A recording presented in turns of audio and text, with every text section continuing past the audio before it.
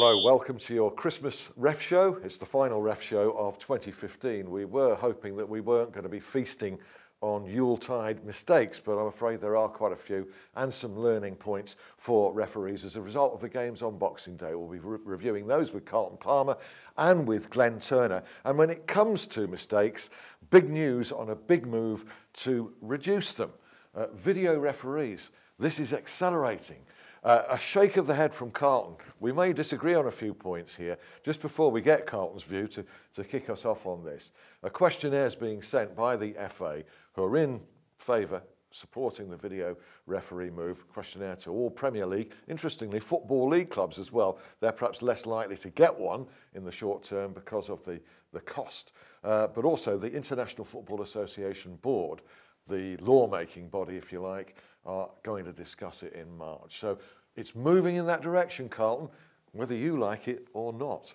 Well, it is, but it's taking that element for, for, for for supporters and even for players, it's, it's the discussion. It's the argument of a Saturday night having a beer about was he onside, was he offside, was it a bad tackle, what it, you know, you're not going to, even if they bring it in, there's still going to be incidents that they'll be, that will, they'll be talking about afterwards. I, I, as a, as a TV, TV commentator, even sometimes when I re replay it and look at it, you still aren't sure. What I'm saying is if they keep it simple, which is for me, if you're offside, you're offside. Stick with that law. So forget this air's breath or whatever or inactive or half the players and the managers still don't understand those rules now. But the idea behind this is it's only for big big decisions. The big calls, penalty, was it a penalty, was it not, as the referee called it wrong, in which case he could just quickly confer, and it can happen quite quickly, can't it?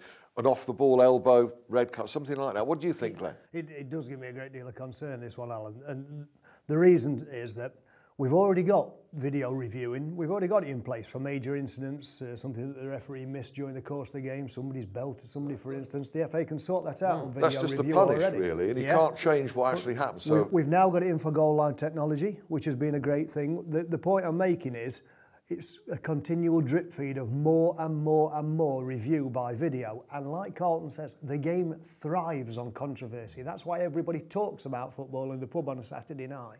Now, as, as a, a supporter of my beloved Chesterfield, the last thing I want to be doing is going into the pub on a Saturday night, which unfortunately I get forced into quite a lot on the back of our recent results, but going into the pub on a Saturday night and talking about the players and what they've not done it's great as a supporter to go in and talk about the man or the woman in the middle having messed up. That makes me feel a lot better because it's not the fault of my heroes in blue. No. Over clinicise the game, and we're going to have to start reviewing as supporters how we view our own own players, and I don't want to do that. As a Chesterfield supporter, and I'm a Chesterfield supporter yeah, yeah, as well.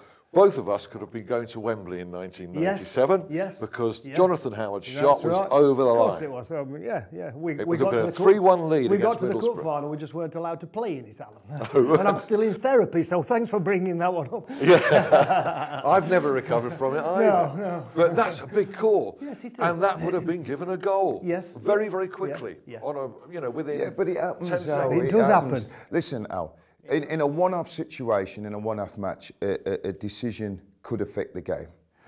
But winning a league is won over how many games?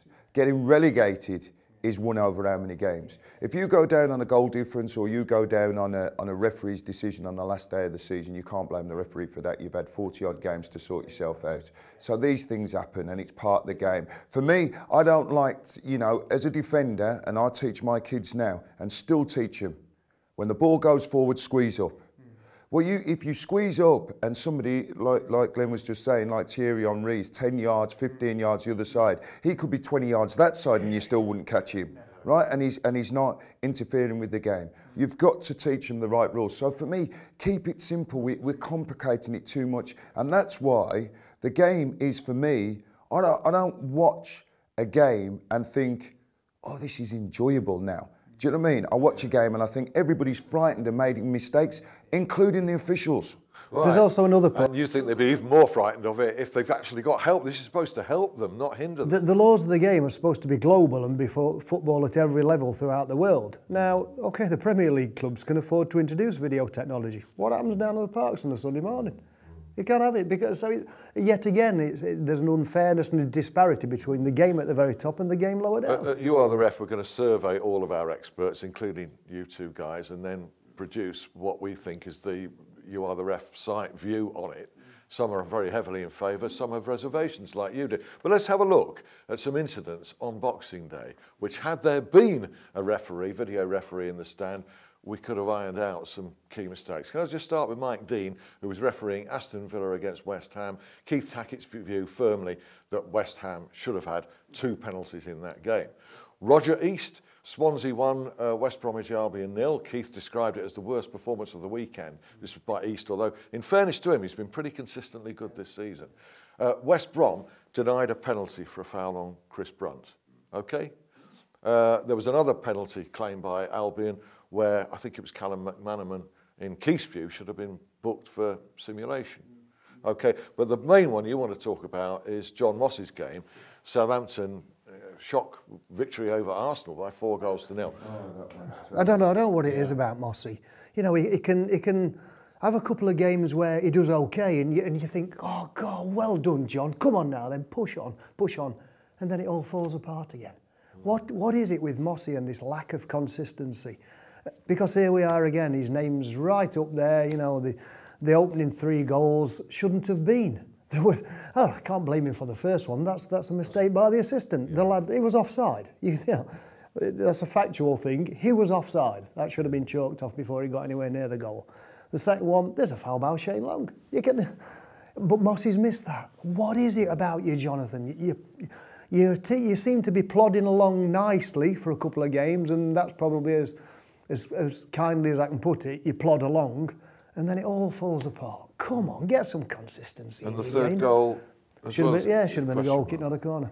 Right. Yeah, but that was a. I think that's a little bit difficult. Yeah, that, the I'm third not, one, not the third one, you know, at the end of the day, I still say this: Southampton deserved to win the game, oh, right? Yeah, yeah, yeah. Even though the referees yeah, made some mistakes, right? The, the first yes. one offside. I know what you're saying, but it's a difficult call. Me and Ron were watching the game, and it's one of those is it, isn't it? You and Ron, this is Ron Atkinson, big Ron Atkinson, and Carlton sees a lot of him. Uh, you know, he was a mentor to you in, in, your, in your football career. I know before we came on here, you, Ron made an interesting point about mistakes during the course of his very long managerial career. What was that? What well, was that point? He, he, he says in all of his career, he doesn't think five, five decisions over the course of his career have affected the game. He always used to say, as, as players, he always used to say to us, don't get involved with the referee. Leave it alone because he said all that will do is affect your performance in the game. Because you get fixated, oh, the referee hasn't given a free kick or he hasn't given this or he's given that, and you get fixated. It's 90 minutes to win a game. Hey, by the way, Southampton deserved to win the game. I mean, the referee for the second one was Shane Long. He, he can't see that from the position he, he's in. And the third one, I don't think he can see. And all of it in total was Southampton played well and Arsenal played poor. So you've got to be a little bit careful about referees as well. They do make uh, poor decisions, just like players make poor decisions, just like players have poor performances. You I think it's getting a bit too it's clinical. It's the first one that particularly frustrates me, Alan. It's bound to because that's my bag line, isn't it? Um, that I know Carlton says it's a difficult decision because it's tight. It's not a it's not a long way offside. So in that respect, I can buy into the argument that it's it's it's tight in terms of distance. He was offside. It's not a difficult decision in that he was doing it from an almost standing position. Now, when you're almost standing still, and the lino was almost still, he's, he's got time and his mind should be nice and calm to be able to judge the fact, oh, he's off, he's off, he's off, he's off, the ball's come, he's off. Now, he's not done that. If it was one of those where it's got lumped from centre half to centre forward and the defence are pushing out at the same time as the centre forwards crossing, they are difficult. The ball's travelled a distance and he's moving at speed, one coming out, one going in. They are difficult calls when you're standing still on the line, he should be in that mode of thought. He's off, he's off, he's off, he's off, ball's come, he's off. And why isn't it, why isn't that happening?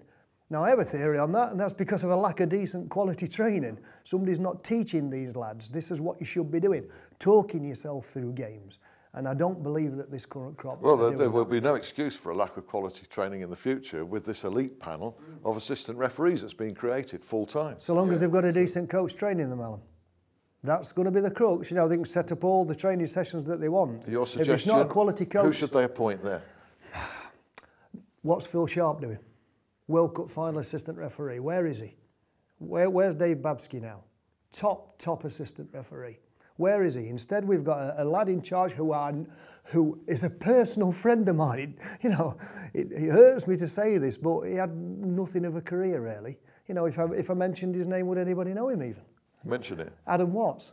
Who is, you know, does anybody remember Adam Watts but as being a be top careful assistant with that. You've got to be careful with that. Arsene Wenger's longest serving manager in the Premier League, never had a top career. Jose Mourinho, one of the But, but he most he's proven himself since. The point I'm making is that during his career on the line, Adam Watts didn't really prove himself, Yeah. Carlton. He didn't become a top lino. You think mean, you I'm- have to be a top lino in I order think you've to got to have been in that or not? environment. I think you've got to have been. No, I, I, I agree with that. I, I, I don't.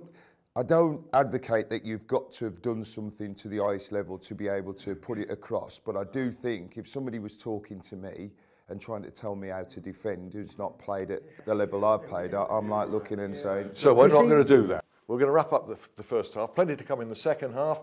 Some referees did very well. There's one or two other mistakes, and Wayne Rooney gets a favourable mention. Join us for that.